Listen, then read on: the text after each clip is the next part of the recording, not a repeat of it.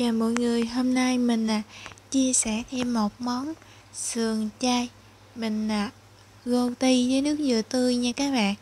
Và món sườn chay khi làm xong á, thì thấm vị, dai ngon. Mình có thể ăn cùng với bánh mì hoặc là với bún, với cơm đều rất ngon á. Đây là tất cả nguyên liệu thì mình có 100g sườn non chay. Lát mình sẽ ngâm mềm dưới vài cọng ngò gí và một củ sắn. Còn nước dừa tươi mình sử dụng một trái. Gia vị thì mình dùng là hai thìa canh à, nước tương, một thìa canh tương ớt và nửa thìa cà phê bột ngũ vị hương với một thìa cà phê à, đường. Sườn non chay thì mình sẽ ngâm cho mềm. Trong thời gian ngâm sườn non chay thì mình sẽ đi sắc phần củ sắn củ sắn thì mình sẽ à, cắt những cái khúc cho nó hơi dài á. Và dừa với cái miếng sườn non chay đây là phần sườn chay thì mình ngâm mềm, giờ sẽ rửa nhiều lần với nước sạch vừa dắt khô. Mỗi miếng sườn non chay mình sẽ cắt ra làm bốn nha các bạn.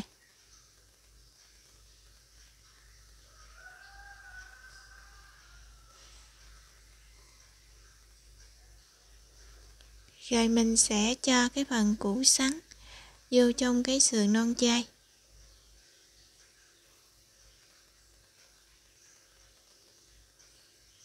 Mình phết ừ, ở phần giữa như gì để mình để củ sắn vô cho dễ. Giờ mình làm xong rồi, sẽ bắt một cái chảo lên rồi cho dầu ăn vô để mình chiên cái phần sườn chay. Thì mình sẽ chiên cho vàng đều hai mặt.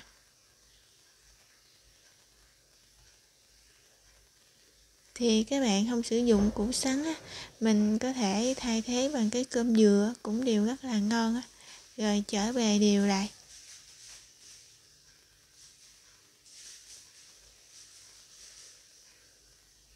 Miếng sườn chay thì mình chiên giờ cũng vừa vàng rồi. Thì giờ mình sẽ gấp ra cái giấy thấm dầu. Rồi tiếp tục chiên những miếng còn lại đến khi nào hết.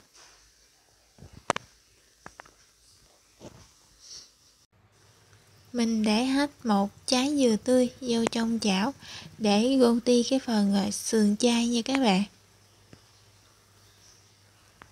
Còn đây là bột ngũ vị hương mình cũng để vô, để cho thơm Nước tương, mình cũng thêm vô đây một ít đường và tương ớt.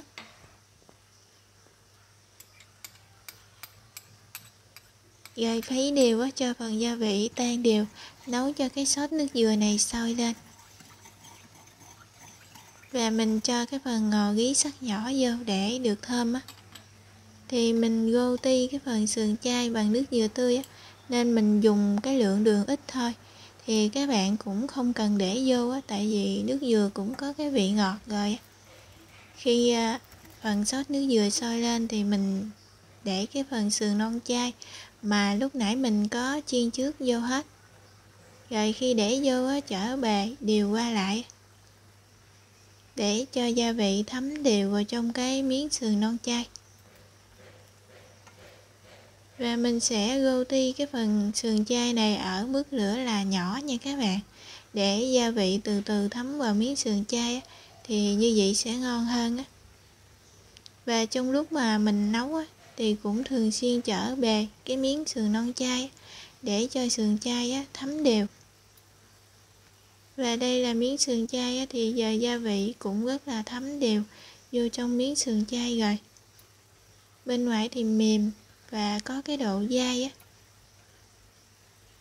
Ở đây mình chừa một ít nước lại để lát chan với bánh mì hoặc là chan với cơm. Ăn đều rất là ngon á và mình cũng có chuẩn bị một ít dưa leo, cà chua với cải salad. Thì mình sẽ gấp cái phần sườn chay ra dĩa cho các bạn xem nha. Thì phần sườn chay này mình ăn với các loại rau sống, dưa leo và cà chua như vậy sẽ rất ngon nha các bạn. Món sườn chay mình ti với nước dừa tươi thì mình cũng làm xong rồi. Món này thì ăn cùng với bún bánh hỏi với cơm, bánh mì. Đều ngon nha các bạn. Lạ miệng á. Chúc các bạn có thêm món chay ngon cho gia đình.